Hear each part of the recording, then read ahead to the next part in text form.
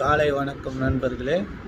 இது என்னென்னா இந்த இன்னைக்கு எல்லா ஆத்மாக்கள் தினம்னு ஆல் சோல்ஸ் டேன்னு கொண்டாடுவாங்க. கிறிஸ்தவர்கள் முஸ்லீம் கூட அந்த மாதிரி ஒரு நினைவு அந்த மாதிரி இன்னைக்கு இந்த மாட்டுப்பொங்கல் என்று சொல்லப்படுகிற இன்றைக்கு வந்து நமது முன்னோர்களுடைய தினம். எல்லாம் தாத்தா பாட்டி சித்தப்பா பெரியப்பா இறந்து போனவங்களெல்லாம் வச்சு நீங்கள் படையில் வச்சு கும்பிடுறோம் இந்த தமிழ்நாடு வந்து மெட்ராஸ் பிரசிடென்சியாக இருந்ததுனால இந்த மெட்ராஸை சுற்றி உள்ள பல மாவட்டங்கள் கோடார்காடு தென்காடு ஈவன் தஞ்சாவூரில் கூட இந்த மக்கள் தொகை முழுக்க முழுக்க பல மொழிகள் ஆந்திரா கன்னடா மராட்டா என்ற அப்படி சாளுக்கியான்ற பல மொழிகளில் இருந்தவங்கெல்லாம் இங்கே தமிழ்நாட்டில் வந்து இருந்ததுனால அதுக்கப்புறம் காலப்போக்கில் தமிழ் பேசி தமிழ் மண்ணில் வாழ்ந்து தமிழ் மண்ணை சுவாசித்து தமிழை சுவாசித்து தமிழை கற்றுக்கொண்டு இன்றைக்கு நம்ம தமிழர்களாக இருக்கோம். அதனால் எண்பது சதவீதம் மக்கள் வந்து முப்பத்துக்கு இப்போத்துக்கு நூறு சதவீதம் முழுவதும் தமிழர்களாக இருந்தாலும் ஆ- ஆதி காலத்தில் வந்து வேறு இருந்ததுனால நம்ம பழக்க வழக்கங்கள் கலாச்சாரங்களை ஆராய்ச்சி பண்ணி பார்த்திங்கன்னா தென் மாவட்டங்களில் தான் இந்த மாட்டுப்பொங்கல் விலங்குகளை வந்து அவங்க அவங்களுக்கு அந்த மாடு இதெல்லாம் அவங்களுக்கு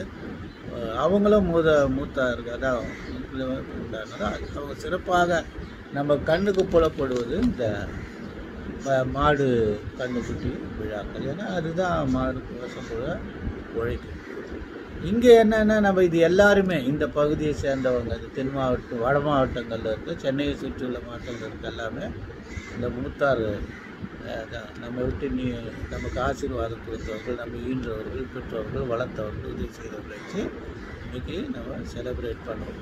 இதுதான் இன்றைய திருநாள். சரி இந்த திருநாளில் ஒரு அருமையான வழக்கு.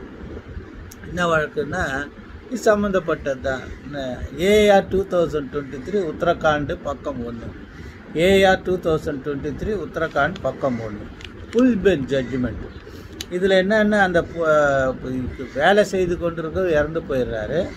அவங்க பொண்ணு வேலை கேட்குது அது வந்து ஆரம்பத்தில் மறுக்கப்படுகிறது. பிறகு இந்த உத்தரகாண்ட் ஃபுல் பெஞ்ச் ஜட்ஜ்மெண்ட் கொடுக்குறாங்க.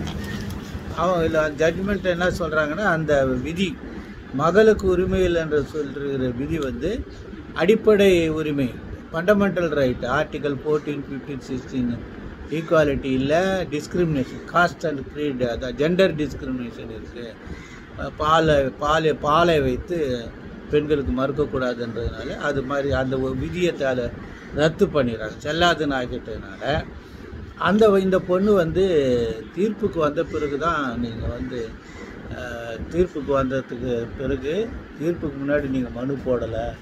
அதனால் உங்களுக்கு இல்லைன்ற அடிப்படையில் இந்த உச்சநீதி இந்த மு- இந்த Uttarakhand AR two thousand twenty Uttarakhand பக்கம் ஒன்று Namrata Sharma versus director general of department of medical health Namrata Sharma versus director general of department of medical ஹெல்த்தில் வந்து அவங்க என்ன சொல்கிறாங்கன்னா இந்த ரேஷியோ டெசிடென்ட் ஜுடிஷியல் பிரசிடென்ட்னு ஒரு சாப்டர் நம்ம ஜூரி ஸ்டூடெண்ட்ஸில் கற்றுக்கிட்டோம் அதில் வந்து இந்த மாதிரி சில சட்டங்களை பற்றிய தீர்ப்புகள் வரும்போது அது வந்து ரெட்ராஸ்பெக்டிவ் எஃபெக்ட்டு இருந்தாலும் இருக்கிறதுனால இது வந்து நீங்கள் வந்து இந்த மனு தீர்ப்பு வந்த ஐந்து வருடங்களுக்குள் நீங்கள் வந்து ரிஹாபிலிட்டேஷன் அசிஸ்டன்ஸ் பிரகாரம் ஐந்து வருடங்களுக்குள்ளே மனு செய்து வேலையை கொடுக்கணும் அப்படின்னு சொல்லி இந்த தீர்ப்பை கொடுத்துருக்காங்க. ஸோ இது வந்து வழ இளம் வழக்கறிஞர்களுக்கு வந்து இந்த வழக்கு வந்து கண்டிப்பாக அவங்களுக்கு